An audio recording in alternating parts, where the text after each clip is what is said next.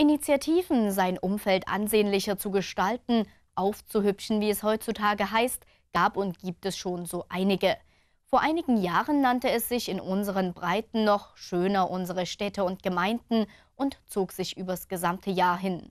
Seit 2017 heißt es im Frühjahr für die Muldestadt Zwickau blüht auf.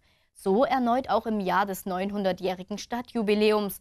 Hinzu kommt diesmal noch ein Vorab Großreinemachen.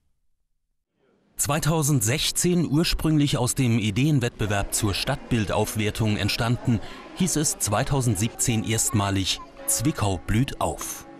Ganz nach dem Motto Urban Gardening wurden vor allem in der Innenstadt gezielt blühende Blumenoasen gesetzt.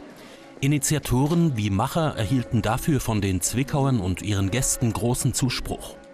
Ebenso zeigten sich der Einzelhandel und die Gastronomen begeistert.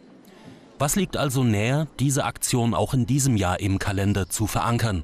So wird der farbenfrohe Spaziergang vom 24. März bis 14. April wieder durch die Innenstadt einladen.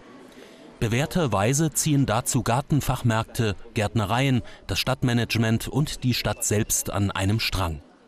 Erneut solle den Einheimischen und Gästen damit ein Lächeln ins Gesicht gezaubert werden.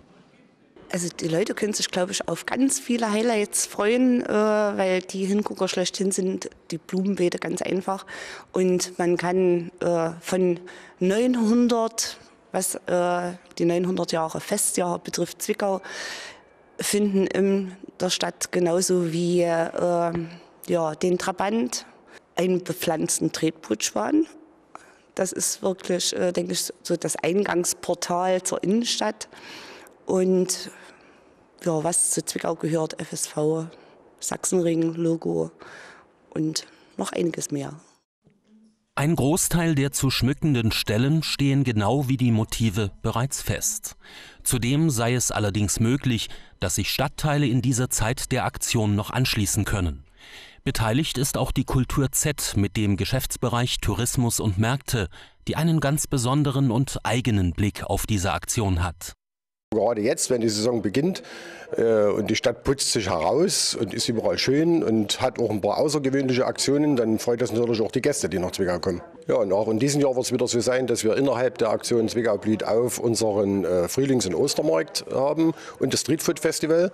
Diesmal ist es genau umgekehrt. Erst äh, der Ostermarkt am 24. und 25. März und danach dann das große Streetfood Festival vom 6. bis zum 8. April. An zwei bzw. drei Tagen wird es auf dem Hauptmarkt und dem angrenzenden Areal wieder reges Gedränge geben, werden die Stände der verschiedenen Händler dicht umlagert sein, es so manche Gaumenfreude zu erleben geben. Bevor die Innenstadt schick gemacht wird, soll es einen Zwickau putzt sich raus Samstag geben, einen Subotnik oder eine Ramadama-Aktion, wie es früher und weiter südlich genannt wurde. Dazu soll am 17. März zwischen 10 und 14 Uhr nicht nur die Innenstadt unter den Besen genommen werden. Nähere Informationen zu den Treffpunkten sind über das Ordnungsamt zu erfahren.